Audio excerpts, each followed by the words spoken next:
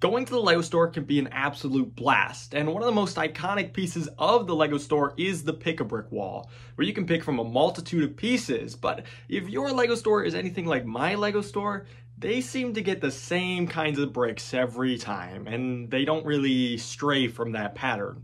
Like, tell me the last time you needed lavender masonry bricks. Probably never, right? Well, my LEGO store likes to get things like that, which doesn't really help me out when I'm trying to finish a bunch of really cool MOCs for Brickworld Chicago and for Instagram Reels.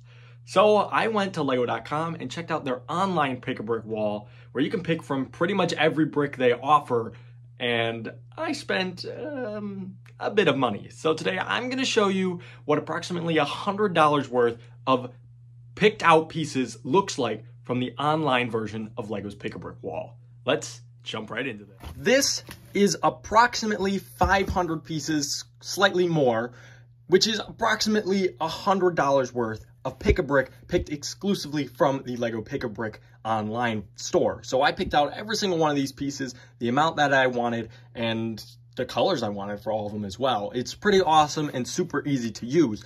Now, 500 pieces for $100 doesn't seem like a great deal, but I did get nine of these half road plates, which cost, I believe, around 25 bucks for all nine of them.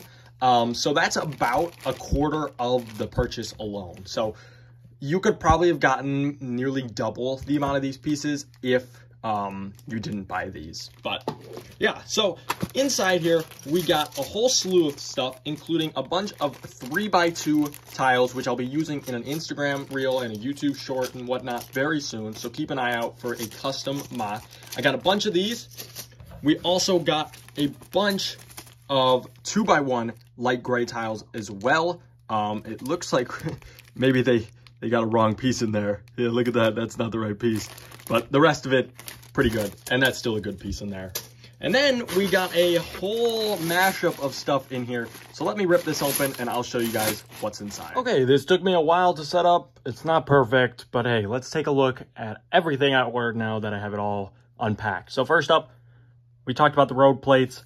We talked about the 3x2s. I ordered a couple black 4x2s, which are going to be for Brick World MOC. A couple 4x2s in dark gray for all my road plates a couple two by two dark grays for a bunch of sidewalks and modulars and stuff like that. We got all of these pieces here, all these gray, like, building materials, as I'm going to consider them. These are all for a custom MOC that I'll be revealing soon. Two by two uh, light grays. I needed more, and I need them for a MOC. The baby blue pieces here are also for that MOC with these gray ones here. Very excited to have those. These masonry bricks are going to be used for a Brick World MOC. These two by ones are going to be used for a whole bunch of things, including this project that I'm working on. All of these translucent blue tiles are used to finish up the water. You can see there's one by ones and two by one gaps all along this thing. Hopefully, I ordered enough to fill it in, but I doubt it. I checked my packing list. I I, I didn't order these. I, I don't know how they got here, but hey, I need them anyways. Uh, I do actually need them for my Spring Lantern Festival area, so I guess this is LEGO telling me I needed them. Then we have all these colorful flowers. I wasn't about to organize them because they're going straight onto the treehouse that I've been quickly turning into like a fantasy sort of treehouse, cherry blossom inspired sort of one. Very excited to have that.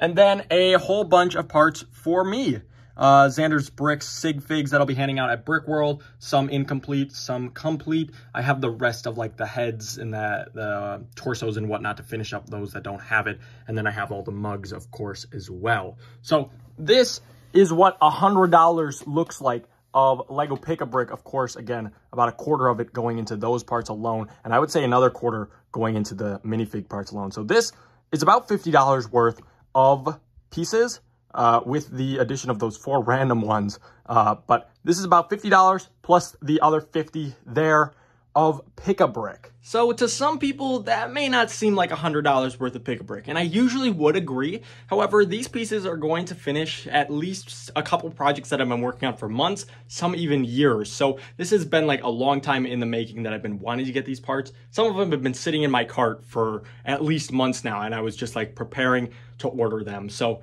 I just decided randomly to order them all. And that's $100 worth to finish like six projects, some of which you can see at Brick World Chicago this year. So maybe you could catch me there. I'll be displaying a bunch of custom MOCs, and I would love to have you guys stop by, say hello. I'd love to meet all of you.